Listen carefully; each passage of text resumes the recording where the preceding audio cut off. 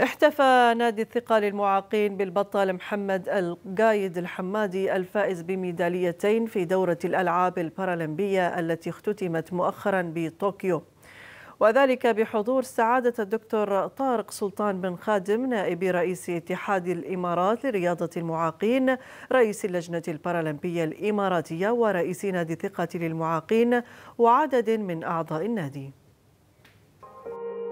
بأحرف من ذهب سطر الإماراتيان عبد الله العرياني ومحمد القايد الحمادي أسماءهم في لوحة الأبطال العالميين ورفعوا علم الدولة عاليا خفاقا في سماء العاصمة اليابانية طوكيو ضمن دورة الألعاب البارالمبية.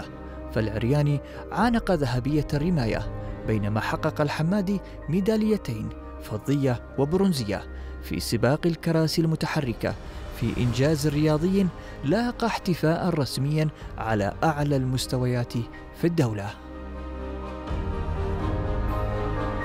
صالة نادي الثقة للمعاقين كانت على موعد مع زيارة من نصير المعاقين صاحب السمو الشيخ الدكتور سلطان بن محمد القاسمي عضو المجلس الأعلى حاكم الشارقة. الذي جاء ليكرم المشاركين ويشد على أزر هؤلاء الأبطال الذين صنعوا التاريخ بهذا الإنجاز.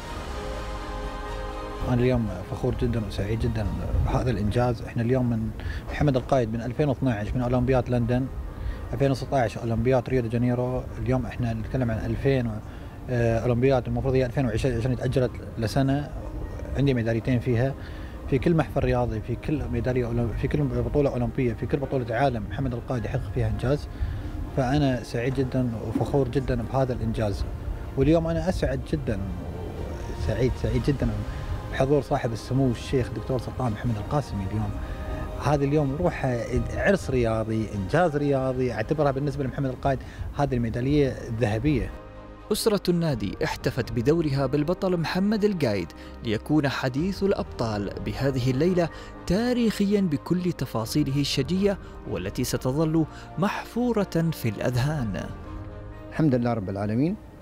نحن نشيد بأبنائنا ونعاهد قيادتنا الرشيدة ونعاهد نصير المعاقين الفترة القادمة راح نكون إن شاء الله بإذن الله يعني آه، نبني أجيال جديدة نشاركهم في المناسبات والبطولات سواء المحلية والخارجية الدولية والعالمية والأولمبية راح يكونوا إن شاء الله مشاركين لاكتساب المهارات واكتساب المعرفة.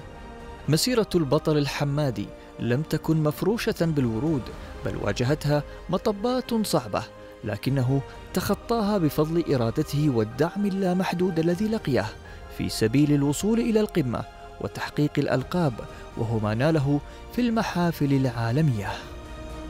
تكريم لأبطال صنعوا بإرادتهم وعزيمتهم القوية إنجازا يفتخر به الجميع بل ورفعوا به علم الدولة واسمها عاليا في المحافل الدولية. لأخبار الدار وليد الأصبحي الشارقة.